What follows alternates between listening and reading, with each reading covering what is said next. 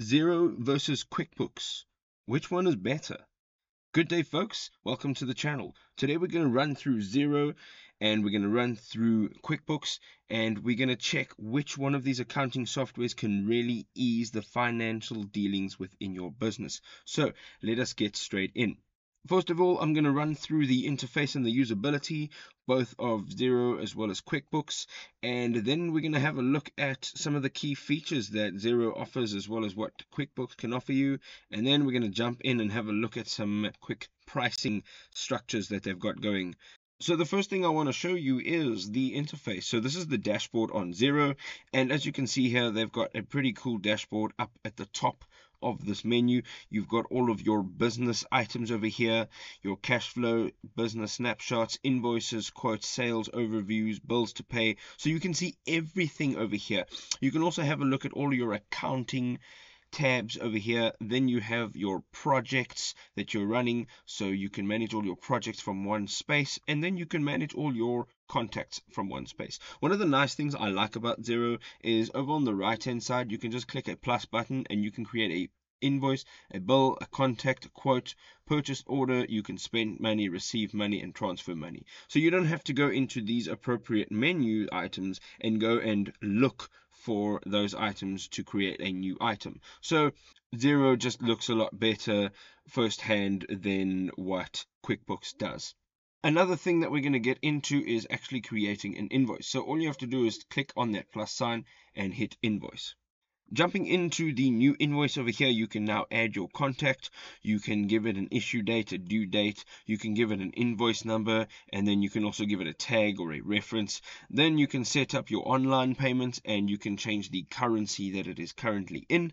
And right over here at the bottom, you can now enter the items on your invoice you can give it a description quantity price which account it's coming to or going from and then the tax rate and an amount and then as you can see over here on the right hand side you'll get a subtotal a total of VAT and then you will get the total that is owing to you.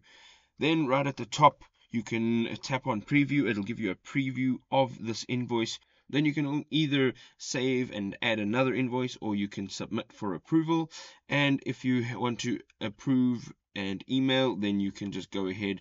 They have a nice drop down menu here. You can approve you can add another you can get a link and then you can also print to PDF and that I think is quite nice because that means you can do a bunch of things all with one click. So initially yes, Xero looks like it's nice and easy to use. It's straightforward so the next thing I'm going to get into is the fact that Xero has a very very wide selection of apps in their app store. So if you're on your home page on Xero, you can actually just go straight from your dashboard and on the top right hand side there are a bunch of dots that gives you a menu. Now this menu basically allows you to choose from apps and the apps will basically that page will look like this. So here you can search for apps in the search bar. As you can see though, if you don't want to search, there are some popular apps. There are some categories as well, so you can choose from. And as you can see here, there is a wide selection. So there really is a lot to actually jump into here. So you can do a lot more with just one platform, just by integrating these apps.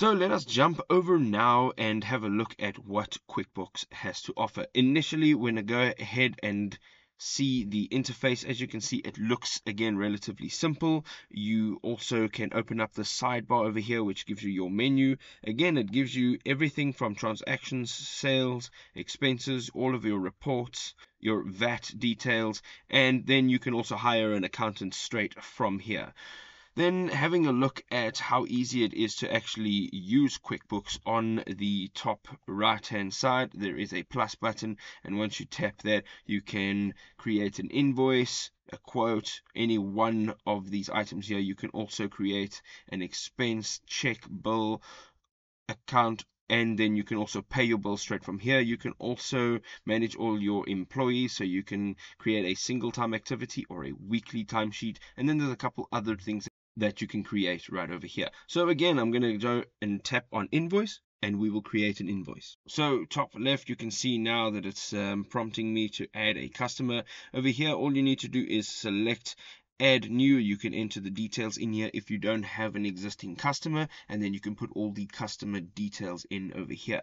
Again, you're going to go ahead and enter the customer's email address, billing address, the terms, the invoice date, due date, as well as some tags and then you have your actual invoice. So you've got your product or service description quality rate and your amount.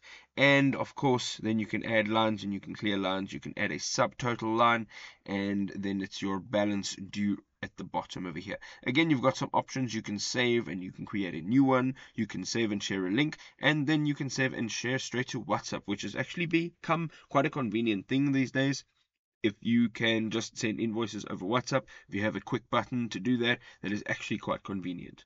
Again, it's very easy. It looks um, very nice to work with. It's very straightforward and simple. And um, I think all in all, it's a pretty tough competitor with Xero.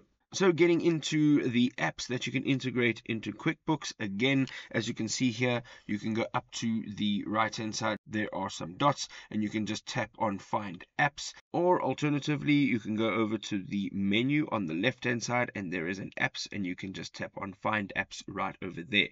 Now, if we just close this quickly, you can see again that you have many, many categories that you can choose from and you can also search for your app but there are some apps that they put here for you some suggested apps and some more popular apps than others. And you can go ahead and you can integrate pretty much any sort of app that you would need so that you can make your experience a whole lot easier so again, I want to talk about one of the nice features here with Xero as well as QuickBooks. So they both offer a great way to automate all of your finances. So let's just say, for example, you send out a quotation and then once you're done with your quotation, that quotation gets accepted and all of those details get saved and it gets thrown into your invoice. And once you get invoiced, then you can then create your bill. So that is a nice automation. It's a nice work workflow so you don't have to. So we're going to talk now about something that both Xero as well as QuickBooks offer and I think is a great advantage. QuickBooks as well as Xero both offer automation. So there's a nice way for you to set up a flow so that when you create a quote, it automatically has all those details forwarded into an invoice and then forwarded towards a bill so that you only have to do that once, fill in all those details, and then you create a flow and you don't have to type out every single invoice and every single bill. So QuickBooks has the exact same thing. If you are setting up a quote or an invoice or whatever it may be, you can set up a flow so that it is easy for you to do things. So you only have to do things once and the automation takes care of the rest. So if you're going into your apps store, you can find a number of apps that can do that for you. And uh, QuickBooks actually offers that exact same thing. One of the apps that I will mention that I have used before is Zapier, and it actually works very, very well to create workflows and great automations. Now going into pricing, as you can see that Xero does have three packages. You can see now their starter package is 435 Rand. Now if we have to convert that 435 Rand just to put it into relativity, over here you can see that is 435 Rand. It equals just over $23. Now, it really doesn't sound like a lot for a starter package. $23 gives you 20 invoices, it gives you five bills, it gives you reconcile bank transactions, a HubDoc bill capturing and receipt capturer. It also allows you to track your cash flow and it also gives you a few other options. So if you want to, that does sound like a decent price plan. But if you jump into QuickBooks, you will see that even their cheapest or their simplest plan is 264 Rand. And initially you can see that that number is half. So you're going 264 Rand and it's actually giving you 14 dollars. It's substantially less. And if you have a look at what you're actually getting here, you're getting the track income expenses feature. You can send customer invoices and quotes. You can connect your bank You can track your VAT. Insights and reports also are included. You can capture and organize your receipts. There is progress invoicing, and this is all for one user plus your accountant. So you get two users basically in that deal, and the price is a lot less. And this is really only for the first three months, as you can see here. So for your first three months, you get this promotion. It's 23 Rand. That means that you're only paying for your first three months $1.20 and that is really good pricing. Overall having a look at what quickbooks has to offer as well as what Xero has to offer taking into consideration their apps their integrations and their ease of usability their interface and their easy to read data I'm going to go ahead and say that QuickBooks for me is a much easier platform to use. It just says to me that it wants to be easy and it's going to be an easier platform to use. And there we go, folks. I hope you enjoyed this video. If you did, don't forget to leave us a like. Don't forget to smash that subscribe button and we will see you in the next video. Happy invoicing.